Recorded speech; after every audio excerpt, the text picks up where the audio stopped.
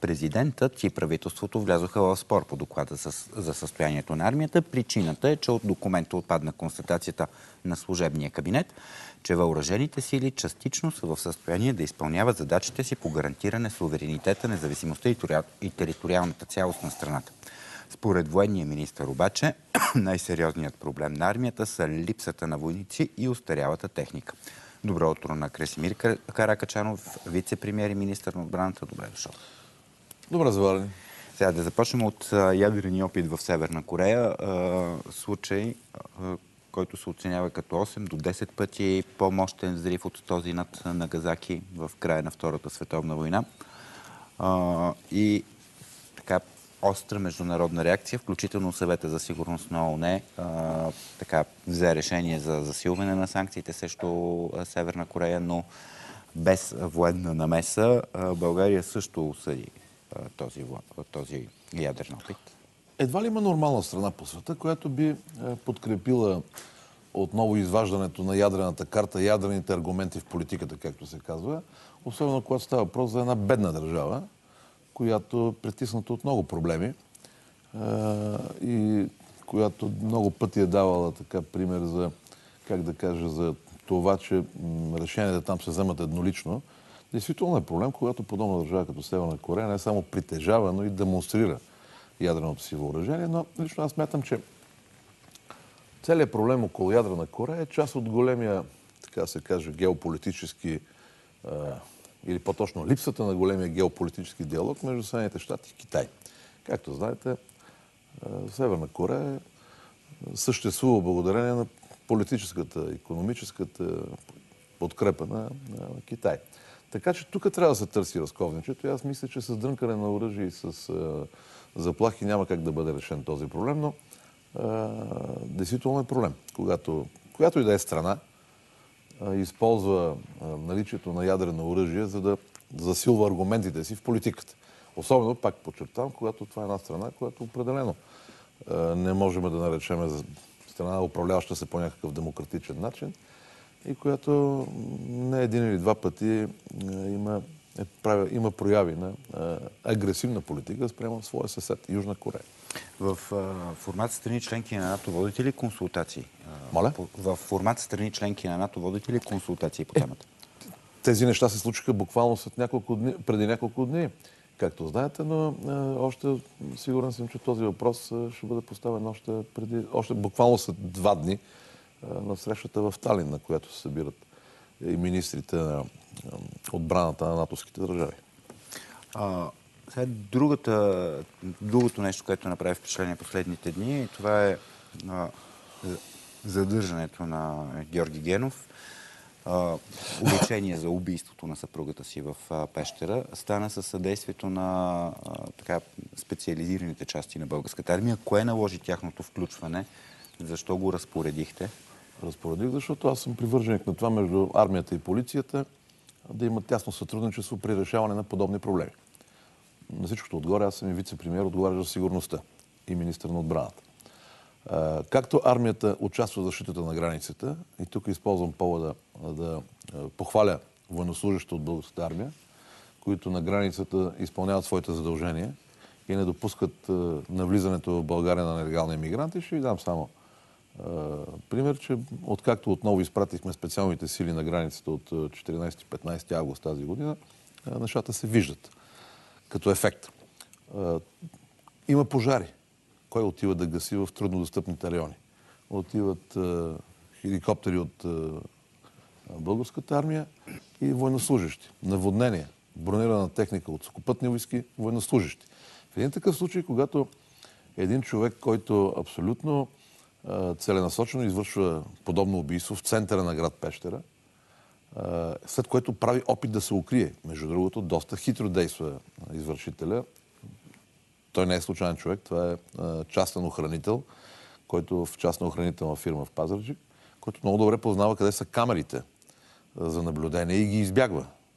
Включително в опит да заблуди полицията, като остава колата си до един азовир, имитирайки, че едва ли не се самоубил в язовира. Района, в който се извършва това, е един планински район. специалните сили са максимално добре обучени за действие точно в подобни райони. И когато колегите от полицията имат нужда от съдействие, те се обърнаха и аз веднага разпоредих да им се окаже това съдействие. Мисля, че е правилно, защото е, оказва се, че проблеми с този човек е имало отдавна. Е, не е изключено или не беше изключено така, както ми докладваха, той да вземе заложници. Това не е класическата форма на ревнивец, който убива жена си и посяга на себе си или се, или се предава в полицията. Напротив, той се укрива и той се укрива хитро. Не беше изключено да се опита при дадена ситуация да вземе заложници или да, да, да извърши друго престъпление. Така че всяко едно съдействие, какво се очакваше да направя аз? Да каже, не, не, не, ние не се бъркаме във вашите работи. Защото имаше някакви подобни коментари в интернет. То в България, между другото, пишман на специалистите по всичко са повече от тези, които се интересуват от реалните проблеми. Но когато има проблем, той трябва да бъде решаван бързо.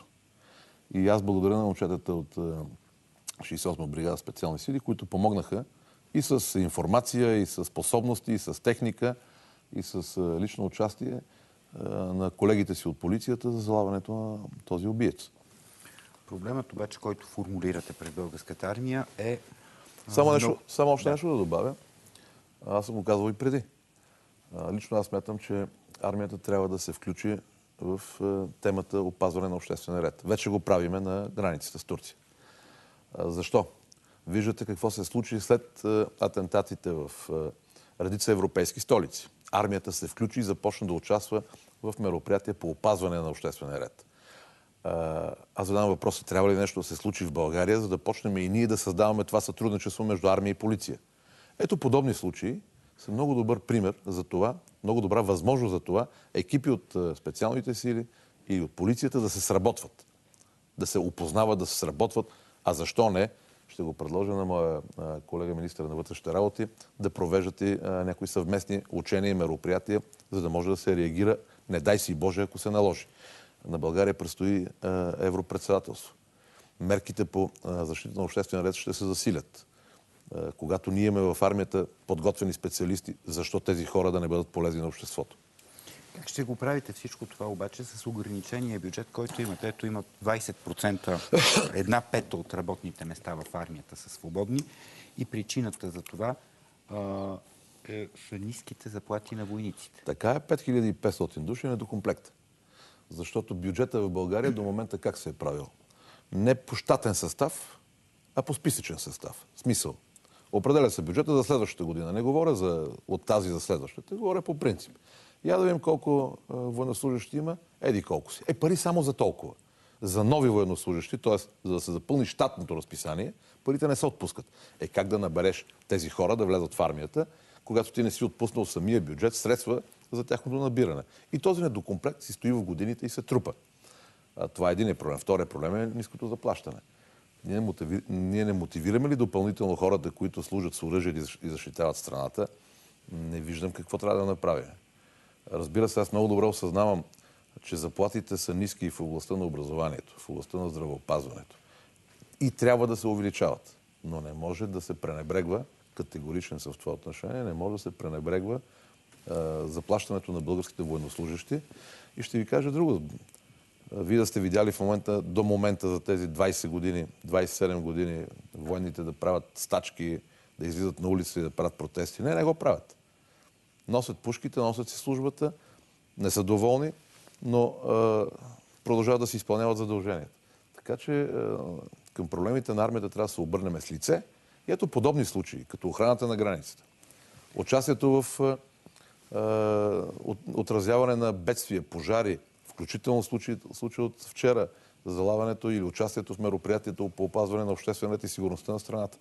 Това само трябва да докаже на обществото, че армията има нужда да бъде погледната с двете очи. А не на армията да гледаме само, когато излезе на парад или когато в даден град прави е, заря проверка. Добре, и в този е, контекст, в разговорите ви с финансовото министерство, докъде стигате? Например, в рамките на следващата бюджетна година, какво очаквате и с колко биха могли да се увеличат заплатите на... Разговорите с финансовото министерство във всички времена, във всички държави, при всички правителства са били трудни. Финансовото министерство разполага с един ресурс от средства, които разпределя между всички нужди в обществото. И... Не са лесни разговорите, защото, както вече казах, е, заплати на учители, увеличение на пенсии, това са неща, които също гълтат основни ресурси. А, така че мога да бъда конкретен, може би към края на октомври или средата на октомври, когато завършим разговорите. Аз не искам да използвам медиите като посредник в разговорите, които водят двете министерства, но аз мисля, че трябва да намерим баланс между е, нуждите на останалите ведомства в страната, нуждата, която изпитват и пенсионерите ни, и учителите ни, и лекарите ни, но и това, което трябва да се направи за армията. Ще ви кажа, изхождам от един много, много проста логика. Няма просперираща економически развита силна страна, която няма армия. Легендата, че Швейцария е богата и няма армия, просто е легенда, просто е разпространена от хора, които са неграмотни. Няма просперираща държава, която няма сигурност, която не може да си гарантира сигурността и която няма армия. Така Но... че армията е един от компонентите на държавността. Гледате ли обаче в една и съща посока? Тоест, има ли разбирането, гледаме... че сектор сигурност се убеден съм, убеден съм, че гледаме в една и съща посока. Може би гледаме в различни параметри и различни проценти. А, сам казвате, че сигурността трябва да се гарантира, обаче ето сега чета заглавие в 24 часа, че ислямизирането на ромите заплаха за териториалната цялост на България. Колегите е, цитират отчета на Държавна агенция Разузнаване е, от техни източници, разбира се. Е, според тях маргинализираните общности в гетата все по-лесно се поддават на влияние на чужди емисари, които пристигали от Турция и ислямския свят. Абсолютно вярно и това е проблем, който аз съм повдигал многократно. Лично аз и моите колеги в предишното Народно събрание сме носители на един текст, в Закона за вероисповеданията, в който забраняваме финансирането на религиозните общности в България от чужди фирми, чужди лица, чужди държави. Какво се получава в момента? Сега на, към вас а, и вътрешния министр се присъедини, който иска и забрана на а, финансирането от частни а, фондове и лица на образованието, на То е същото, религиозното образование. То е абсолютно същото е когато има една българска поговорка, който плаща, той поръчва музиката. Вие смятате ли, че е нормално да има, примерно, ислямска детска градина? Едно дете да го хванеш от 3 годишна възраст и Ако да почнеш е да му пълниш... от българската държава, е, не, не, да има ислямска, да има католическа и да има православна, аз, не говоря, аз не говоря за, за българската държава, говоря за частни подобни мероприятия. едно ако, финансирани от, от българската държава. Финансирани от държави, които финансират световния тероризъм. Що си затваряме очите? Лахабизма, салафизма са а, едни течения в сунитския ислям, които се налагат в България от 20 години с много пари. И тук не е само Турция. Но, а, пак казвам, нормално ли е според вас цялото мисиоманско вероисповедание в България, всички мюфтии, районни и главни мюфтии и така нататък да се финансират от чужда държава, да им се плащат заплатите от чужда държава? Нормално ли е образованието на българските имами да се получава точно в подобни страни, в които се изповядва този радикален ислям? Много пъти са ми казвали, няма радикален ислям. Няма такова нещо. Те самите мисиомани са определили салафизма и лахабизма като радикални течения в исляма. Самите суните са го определили като такъв. Тоест, отивате ни млади момчета, учат по 6, 7, 10 години в подобни университети в подобни страни и се връщат и започват да налагат един ислям, който никога не е бил традиционен нито за България, нито за Турция, нито за Балканския полуостров. Ако ще да дори и за голямата част от Близкия изток. Така че това е първото нещо образованието. За да има контрол върху това какви хора проповядват една или друга религия, образованието по а, религиозното образование трябва да се дава в България с лицензирани от Министерството на образованието висши учебни заведения, под контрола на Министерството на образованието, с учебници проверявани от Министерството на образованието. След това, ако дойдат хора завършили някъде в чужбина, задължително дипломите на тези хора трябва да минат през лицензиране от Министерството на образованието. А не както е сега, отива в главното мюфтийство и те го назначат някъде. И започва сблъсък. Аз мога да дам примери за много места, в които ново образовани е, имами влизат в конфликт с стари имами, които изповядват традиционния за българските мисиомани, турци, мисиомани и така нататък ислям, в конфликт точно по тези а, направления. А по отношение на а, циганите, които се радикализират, абсолютен факт и това го говорим от години. А, ще ви дам само един пример. Неграмотността в тази общност е огромна.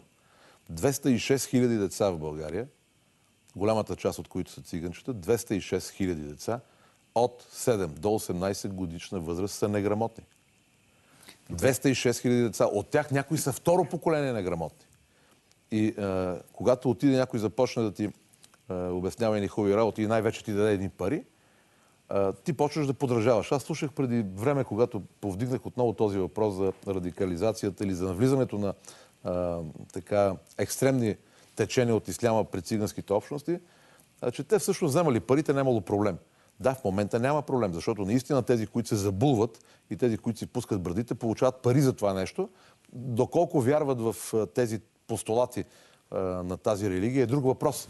Само, че когато децата им израснат в подобна среда, те ще се радикализират. Процеса го наблюдавахме във Франция, в Белгия, в Англия. Децата на нормални мисиомани, попаднали в неподходяща среда и образование от радикални имами, стават ислямски така, терористи. И сега как обаче ако вземем пример Асеновград, който ни е един от най-пресните примери, където се оказа, че около 90% от а, населението в а, ромския квартал няма и основно образование, а, само криминализирането на, спиране, на умишленото спиране от училище ли ще реши проблема с връщането на тези деца в училище, а то е необходимо за тяхната интеграция и те да станат нормални ще ви дам само точните цифри. От 10 000 души население в циганската махала в Асеновград, няма нито един с висше образование.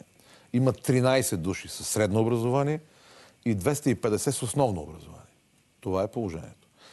А, след което, значи първо криминализирането на това, че не се ходи на училище. Не може, при положение, че в Конституцията пише, че основното образование до 16 годишна възраст е безплатно и задължително, ти да спираш децата си да не ги пращаш на училище, а в същото време да получаваш социални помощи първо криминализиране на това. Тук не става въпрос само за непускане на училище. Обиколете и вижте в редица райони на страната, вземете информацията, проституцията, джепчи, просици. Не малка част от тези деца на улицата, които проституират, просят, джепчисват, това са деца пратени от родителите си и никой не носи отговорност.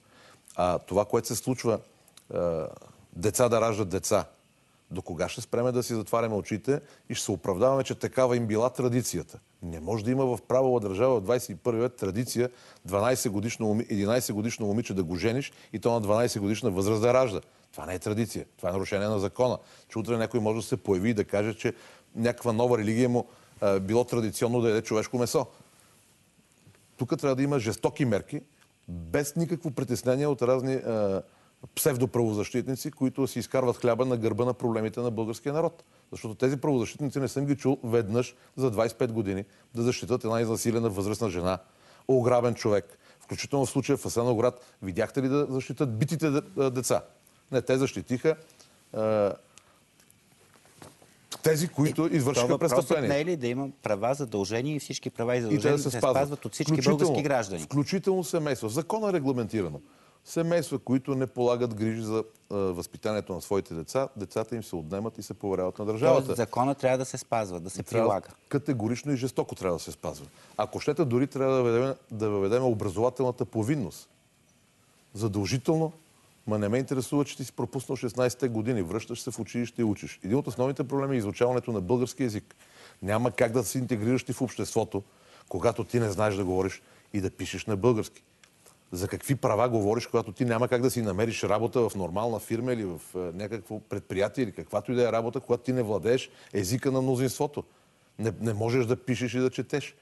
Това са неща, които е крайно време да спреме да ги разглеждаме от една страна с чисто етнически план, а от друга страна трябва да ги разглеждаме, е, е, да спреме да ги разглеждаме като някакъв проблем, от който някой в Брюксел ще да ни се скара. Така. Радикални мерки по отношение на това. Криминализиране на непускането на децата в училище. Всеки един конкретен случай за продажба на деца, т.е. така наречените продажби на булки. Пращане, принуждаване за проституиране, прося, а, просия или, а, или кражби, децата се отнемат. И а, законови мерки в това отношение. Категорично и ясно, защото няма как да решим този проблем. Ние не вкараме ли това население в училището, ние ще имаме страхотен проблем след време. Страхотен проблем. А освен прилагането на закона, допълнителна промяна необходима ли? Допълнителната промяна е необходима по отношение на социалната политика. Крайно време е държавата България да спре да разглежда населението като една, как да кажа, като една обща маса. Имаш семейства, които полагат усилия да а, учат. Тоест индивидуализирането Да, на с- социалните и- и- помощи според изпълнението на... социалните помощи и стимулирането на раждаемостта според образователната, след образователното ниво. Няма интерес никой в обществото България, нито в Европа, ние да раждат деца. възпроизвеждаме необразовани хора. Казах ви, децата от 7 до 18 години, от тази възрастова група, 206 хиляди и няколко стотин са, закръглям ги. 206 хиляди са неграмотни, една част от тях са второ поколение неграмотни. Те не са полезни никому, нито на себе си, нито на родителите си, нито на държавата България, нито на Европейския съюз. Следователно, ние трябва да направим всичко възможно тези хора да ги вкараме в училище, да ги ограмотим, за да може да ги социализираме, за да могат те да работят, а не да чакат на помощи, да използват вратичките в закона или корумпираната система в една или друга област, за да се изкарват инвалиди, да източват социалните фондове, защото се създава едно напрежение и е, една несправедливост. Хора работили по 40 години, получават по 160-70, айде сега ще ги направим 200 лева минимална пенсия, а хора, които не са работили един час в живота си, които се занимават с криминална дейност, но са намерили на баницата мекото, както се казва, получават по стотици хиляди левове под формата на инвалидни пенсии, социални помощи, детски надбавки и така нататък. Това не е справедливо. И хората го виждат. Така, обаче винаги трябва да се обръщаме, господин Каракачанов, и към историята.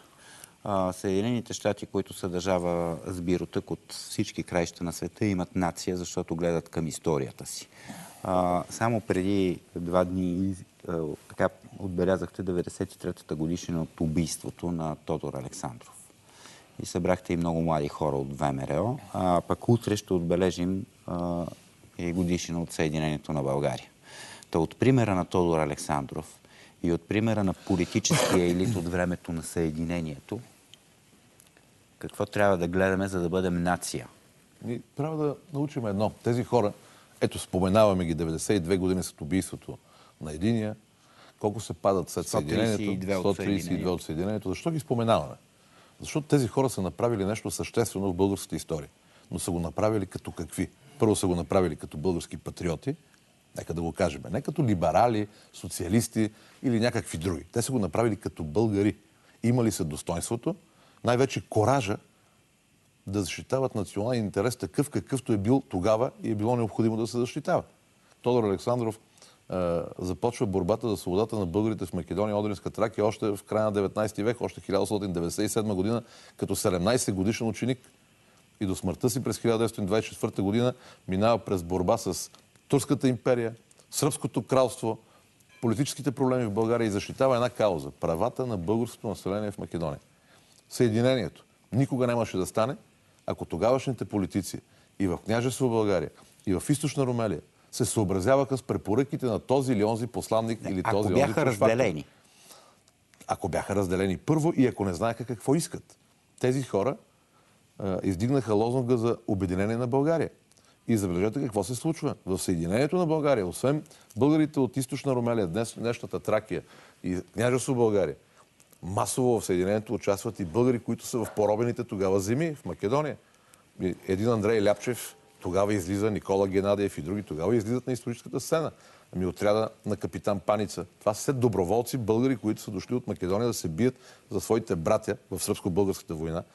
Тук. Ето е тази национална солидарност.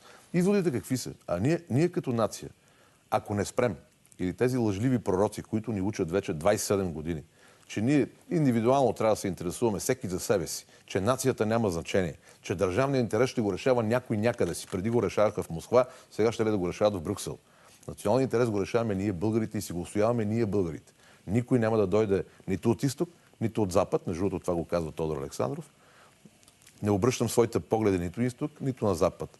Моята цел е свободата на Македония и обединението на българската нация. Ето това е логиката. Ние българите трябва да осъзнаем едно. Ако ние сами не консолидираме усилията си, нямаме обща кауза и не сме готови да се бориме за тази кауза, никой няма да дойде да реши нашите проблеми. Никой. А, ако тези хора, които направиха Съединението, бяха чакали да им разрешат от Петербург, от Москва а, или от някъде другаде. Между другото, точно тогава Русия е против Съединението Да. на България. Те нямаше никога, щяхме сега да, да говорим Но са, били, за...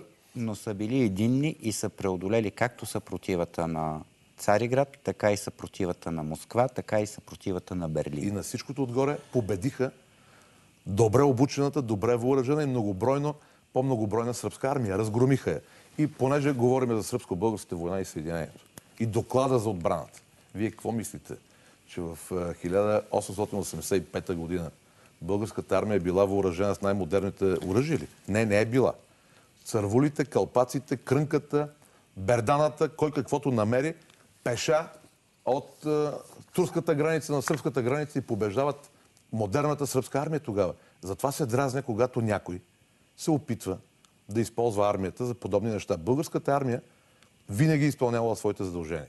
В момента ги изпълнява с затруднения, с риск за живота и здравето на хората, но го прави. Примера с Съединението, хубаво, че ми зададохте този въпрос. Някой тогава писал ли е доклади дали българската армия частично е готова и частично може? Не, просто се дига и си върши работата. Това не означава, че ние не трябва да се обръщаме към проблемите.